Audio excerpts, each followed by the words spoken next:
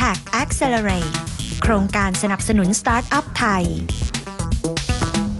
สวัสดีค่ะ มาพบกับ IT 24 ชั่วโมง และเทคโนโลยีใกล้ตัวนะคะ นอกจากเราจะพูดกันถึงวิวัฒนาการของเทคโนโลยี และการใช้ให้เกิดประโยชน์แล้วนะคะ อีกเรื่องหนึ่งที่ลืมไม่ได้และมองข้ามไม่ได้เลยก็คือเรื่องของสุขภาพค่ะ หลายคนนะคะ ใช้อุปกรณ์ IT กันจนมีสารพัดอาการปวด วันนี้เราลองมาคุยเรื่องนี้กันค่ะว่า ที่เราปวดตัวปวดไหล่ปวดตาเนี่ยมันเป็นเพราะว่าเราใช้อุปกรณ์ไอทีมากเกินไปจริง ๆ หรือเปล่า แล้วจะแก้ไขป้องกันกันยังไงนะคะ ตอนนี้ค่ะดิฉันอยู่กับคุณหมอก๊อฟนะคะนายแพทย์สิทธาลิขิตนุกูลค่ะครับผมสวัสดีค่ะน้องเอิญสวัสดีครับคุณผู้ชม อย่างแรกเลยนะครัคะบคือเอิญก็เป็นคนหนึ่งที่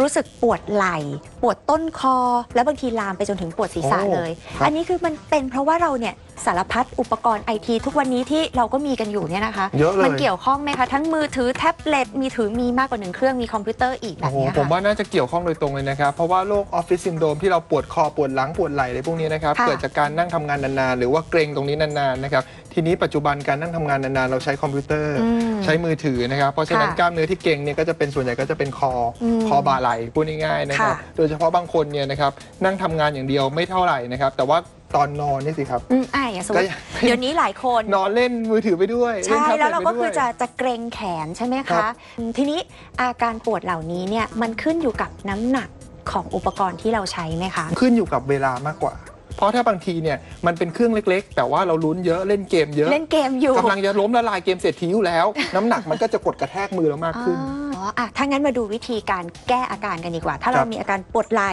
ปวดต้นคอเนี่ยต้องทำยังไงคะ เริ่มต้นนะครับ เอาศีรษะเนี่ยนะครับด้านขวานะครับเอ่อเอ็นมาที่หัวไหล่นะครับ โดยที่ไม่ยกไหล่นะครับ แต่ศีรษะเอ็นมาทางไหล่ขวา แล้วก็ตรงนี้จะตึงนะครับ พอตรงนี้ตึงปุ๊บเราใช้มือข้างข้างขวาเนี่ยนะครับบีบนวดไปบริเวณเส้นข้างคออืมนะครับ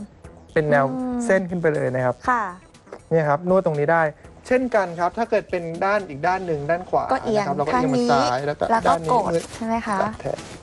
บีบนวดได้นะ ใช้เวลาปจระมาณริงๆเท่าไหร่เอาแค่คะ ความรู้สึกดีขึ้นก็ได้ แต่ส่วนใหญ่คนที่เป็นเนี่ยนะครับ คือเกิดจากการอยู่ในท่าเดิมนานๆเรื้อรังอยู่แล้ว บางทีนวดแค่นี้อาจจะไม่ช่วย บางคนก็ไปใช้ยานวด หรือว่าบางคนก็ไปนวดแผนไทย วิธีป้องกันที่ดีที่สุดเลยก็คือ ถ้าเรามีอาการจากการใช้นานเกินไปก็ควรที่จะหยุดพัก อืม และหันมาดูแลตัวเองครับ คือถ้าเริ่มเมื่อยแล้วก็ควรจะวางได้แล้วใช่ไหมคะเราต้องกำหนดระยะเวลาในการใช้งานไหมคะแบ่งเวลาให้ดีดีกว่าครับว่าช่วงไหนที่เป็นการทำงานของเราและช่วงไหนที่ไม่รบกวนชีวิตประจำวัน ช่วงไหนเป็นเวลาที่เราควรจะไปเล่นอืมก็สรุปแล้วนี่ก็คือใช้แต่พอเหมาะพอดีนะคะครับตอนนี้ต้องขอบคุณคุณหมอก๊อฟมากนะคะขอบคุณขอบค่ะคุณครับและสำหรับเรื่องราวเกี่ยวกับการใช้อุปกรณ์ไอทีเพื่อไม่ให้กระทบต่อสุขภาพเนี่ยนะคะ ยังติดตามกันได้ในตอนต่อไปนะคะ วันนี้ลากันไปก่อน สวัสดีค่ะ